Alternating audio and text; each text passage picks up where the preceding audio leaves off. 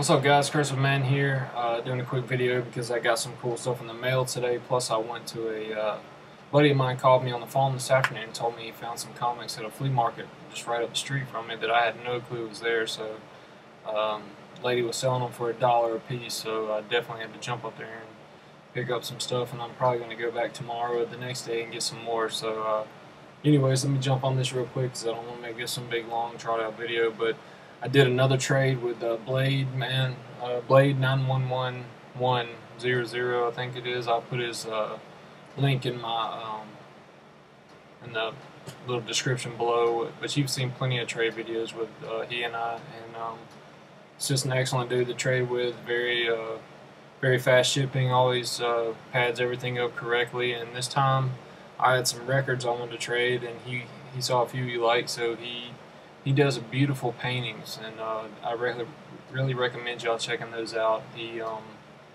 is uh, a very good artist, and uh, I appreciate good art. So he uh, did me a Mjolnir um, painting, and uh, I'll show that to you now. So this is it right here.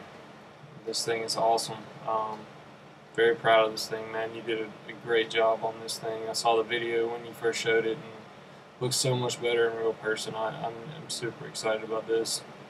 Um, Got to find me a cool spot to put it on my wall. So um, probably going to be over here next to my comic bookshelf behind me in the background there. I'm, probably to put it on the wall back there next to that. So uh, at the end of the, the video that I'm doing now, I'm going to um, drop a couple still photos that I took of um, I got my Bernie, uh, my Walt Simon, ah, can't talk tonight. My Walt Simonson Thors and my Bernie Wrightson's all framed and hanging on the wall now, so they look really good up here. I'm super excited how my, of my comic space right here is turning out. Um, also, you'll see my cool Highlander videos that I've talked about in the other video, and kind of a better shot, more clear shot of how I stack my comics and, and sort them and whatnot. And uh, there's one shot of that Popeye up there that I wanted everybody to see. It's a cast iron Popeye from the 40s. It was my grandmother's, and that thing's super awesome. You just don't see stuff like that anymore. But, anyways, also with that painting, um, he gave me uh, issue 249 of the Mighty Thor.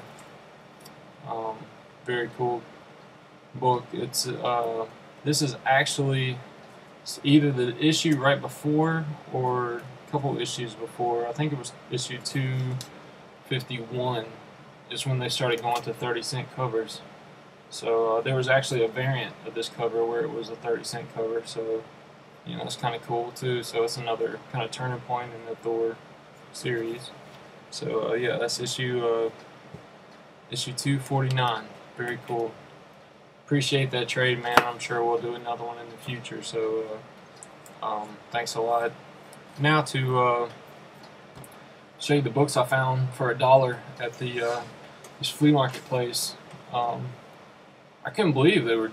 I mean, she was selling this stuff for a dollar, and I, honestly, I was kind of disappointed too with some of the stuff. She had books nailed to the wall and all that kind of stuff, and I was just like, "Oh man, how can you do this?"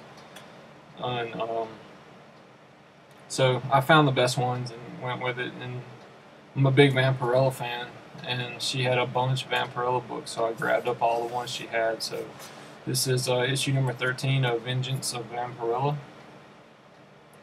Very cool cover there.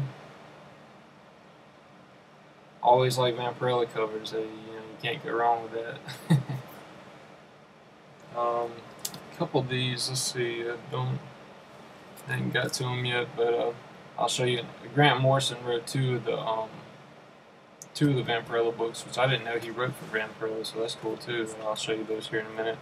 Uh, this is issue number one of Vampirella Strikes, and it's actually got a um, it's a live uh, model that posed as Vampirella. That's pretty cool. You know, they, they did that on a few of her covers where actually had a live person take the pictures for it. That's pretty cool. Um, this is a issue number one Vampirella pinup special. It was a uh, like a one-shot thing, and it's nothing but just really cool paintings of Vampirella on the inside. That's it's more like an art book basically. So no storyline, just all Vampirella pictures. So it's pretty cool. um, this one is one of the Grant Morrison books I was telling you about. It's uh, issue two of eight of the Holy War. Um, I guess that was some some kind of storyline they were going with. But uh, it's uh, out of Vampirella Monthly number five.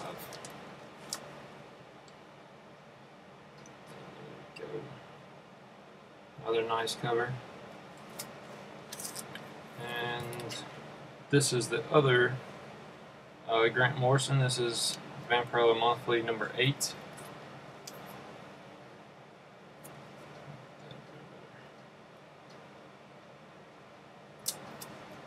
And then they had an issue number four of Vampirella Classic, which one day I'm to try to get the actual Vampirella magazines. I'd really love to own some of those, and this is, I think, based off of those, just reprints of that. Um, another live shot with a, a model. And you can tell just by the way she looks, it's almost like a kind of 60s style hairdo and makeup type thing, laying on a tiger rug on the ground. So pretty cool. All right, and these are the cool finds. I, I mean, those are awesome. But I mean, I couldn't believe these were in here for a dollar. They're not in, by any means in like pristine or even really good shape for that matter. I'd probably rate them as poor to poor to possibly good on some of them, but the covers are faded really bad. This is issue 165 of uh, Superman see how bad faded the cover is. But I figure for a dollar, I mean, it's well intact. It's just cover's really bad faded, so really cool to get that. Um, this is issue number 174 of Superman. Like I said, all these were just a dollar. That one's actually in really good shape. It's got a stuff here in the middle, kind of rough, but other than that, not bad at all. And then this is uh, the action comic, which was in my title. This is issue 321. And, uh, it's in really good shape too. It's got some stuff up here in the top where it looks like something faded through onto the cover. Like maybe it was sitting underneath something. But, uh, you know, for a buck I couldn't pass it up. So uh, I think I got a pretty good deal on that. And then I also got Superman's Girlfriend Lois Lane, issue number 55.